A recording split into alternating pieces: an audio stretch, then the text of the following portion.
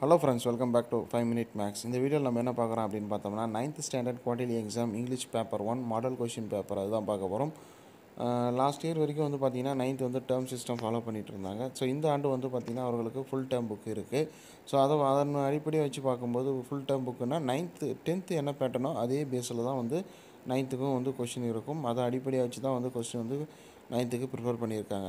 இப்போ டென்த்துக்கு ரீசெண்டாக ஒரு ஜீவோ பாஸ் பண்ணியிருக்காங்க. அது என்ன அப்படின்னு பார்த்தோம்னா தமிழ் அண்ட் இங்கிலீஷ்க்கு பேப்பர் ஒன் பேப்பர் டூ கிடையாது. ஒன்றிணைத்து ஒரே தாளாக தேர்வுகள் நடைபெறும் அப்படின்னு ஒரு ஜியோ பாஸ் பண்ணியிருக்காங்க. ஸோ அதை பேஸ் பண்ணி பார்க்கும்போது நைன்த்துக்கும் இனிமேல் சிங்கிள் பேப்பர் தான் இருக்கும். தமிழ் இங்கிலீஷ்க்கு. அது இனிமேல் தான் வந்து மாற்றங்கள் கொண்டு வருவாங்க. அது இந்த இந்த கல்வியாண்டுக்கே அமல்படுத்தப்படும் டென்த்து பொறுத்த வரைக்கும் அப்படின்னு சொல்லியிருக்காங்க. இப்போ நைன்த்துக்கும் மேபி அதே பேட்டர்னில் தான் இருக்கும். ஸோ வெயிட் பண்ணி தான் நம்ம பார்க்கணும். ஆனால் இப்போ இருக்கக்கூடிய குவார்டர்லி எக்ஸாமுக்கு English paper one paper two இருக்குது ஸோ ஸ்டூடெண்ட்ஸ் யாரும் கன்ஃபியூஸ் ஆகிக்க வேண்டாம்.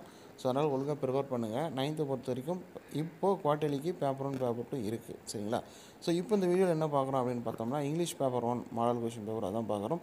ஸோ டைமிங் வந்து two and half hours mark வந்து ஹண்ட்ரட் மார்க்ஸு லாஸ்ட் இயர் வரைக்கும் நீங்கள் டேர்ம் சிஸ்டம் ஃபாலோ பண்ணியிருப்பீங்க. இந்த ஆண்டு முதல் வந்து உங்களுக்கு ஃபுல் டேர்ம் புக்கு அதாவது லாஸ்ட் இயர் அறுபது மார்க் டெஸ்ட் எழுதியிருப்பீங்க. இப்போது இந்த ஆண்டு நூறு மார்க் எழுதுறீங்க ஓகேவா அதனால் வந்து இந்த மாடல் கொஷினை வச்சு நீங்கள் நல்லா ப்ரிப்பேர் பண்ணுங்கள் சரியா?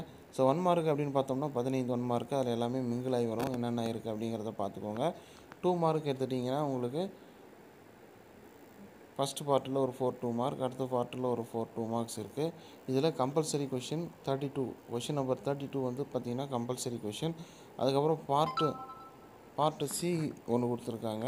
அதில் அதில் வந்து பார்த்தோம் அப்படின்னாலும் ஒரு ஃபோர் டூ மார்க்ஸ் இருக்குது ஸோ அதுக்கப்புறம் வந்து பார்த்தோன்னா பார்ட்டு த்ரீ இருக்குது அதில் ஒரு நைன் ஃபைவ் மார்க்ஸ் அட்டன் பண்ணணும். சரிங்களா? அதுக்கப்புறம் பார்ட்டு ஃபோரில் ஒரு eight two eight mark question நீங்கள் அட்டன் பண்ணணும். இதுதான் வந்து பேட்டர்னாக கொடுத்துருக்காங்க.